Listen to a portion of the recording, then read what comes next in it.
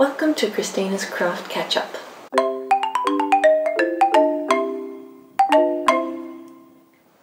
So, to start off with, I thought I'd tell you a bit about me since we've never met before. I am Christina.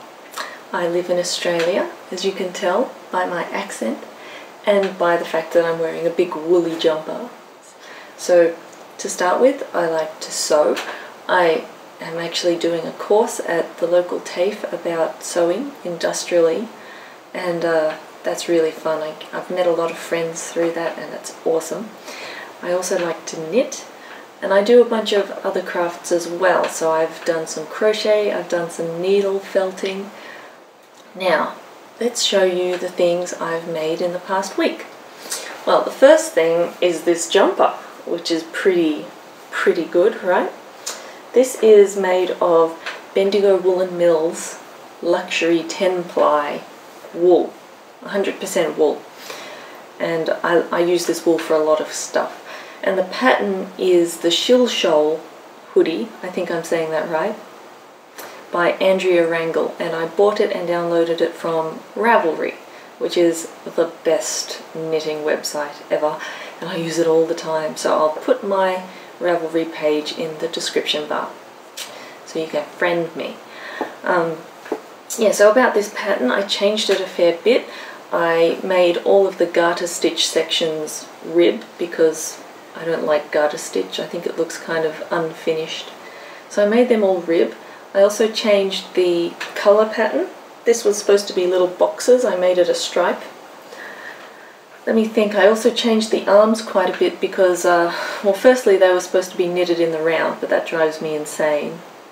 I hate doing that. So I made it just knit flat and then I seamed it. I also made them shorter because I think the pattern is made for some kind of gorilla person with huge long arms. I think I have normal sized arms, but maybe not. Uh, let me think. I changed this this color work a little bit, mainly because I made some mistakes and then had to go with it. It's a hoodie, as you can see. It's got this very pointy hood, which makes me look a bit like a pixie. So that's kind of cute in a way. Um, looks a little bit funny, but I'm only going to wear it when it's really cold or raining or something. So I really love this. It's already getting a bit pilly, which is pretty annoying, seeing as how I made it a week ago. So I'm thinking I might change to a different kind of wool for my next projects once I've used up all my luxury 10 ply because it's just kind of disheartening to put all this work into stuff and then have it peel on you. Okay, what else have I been working on this week? Okay, you're going to think I'm crazy, but that's okay, I am. I'm a massive nerd. So my friend lent me this pattern, the Comox Trunks, and this is a men men's underwear pattern uh, by Thread Theory. So and I made him a size 32 pair of these underpants and they were massive on him. So if you use this pattern, go down a couple sizes. So I went down to the 28, made him a pair of underpants and they fit perfectly. There they are. I made a little change. As you can see in this one, it has a little hole in the front, a little wee wee hole. Yeah, I took that out. So I just made it normal at the front, no wee wee hole. And it's really good. He loves it a lot. So I've been making my own underwear for a, a long time now, maybe a year or more. And I use a Knitwit pattern. So Knitwit was a pattern company back in the 70s, 80s and 90s and I don't think they exist anymore. But they did patterns for knit fabrics, Knitwit, knit fabrics, so everything was stretchy. I made myself a pair of matching underpants. So my husband and I have matching underpants. So if you don't think we're crazy, you will when you see that I have made us two more sets of matching underpants. Now that's good for Charles. And then the last pair, this fabric I bought at an op shop and it works. It's just like t-shirt fabric, probably cotton, elastane sort of fabric. So there's our three pairs of matching underpants. So if you want to make some of these underpants yourself, you can download the pattern from my blog. I've put it up there and uh, I've also got detailed instructions on how to do it. They're very, very comfy, these underpants. I have about six pairs now myself. I made my mum some for Christmas and then she dropped hints until I made her some more for Mother's Day. So they're very, very comfy. Do recommend. So that's what I've made this week. Now let's talk about what I'm in the process of making this week. So, thing number one is this cardigan I'm making. Also Bendigo Woollen Mills Luxury 10 ply. This is the Marion cardigan by Andi Satterlund and uh, it's a v-neck cardigan as you can see, I've gone down to where the back and the front join and now I have to knit downwards until it's the right length. Then add sleeves and a neckband.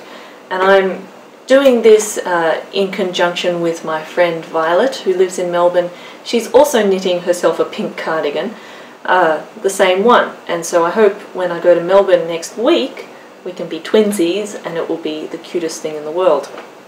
I bought this pattern off Ravelry as well and you can find my Ravelry page down below.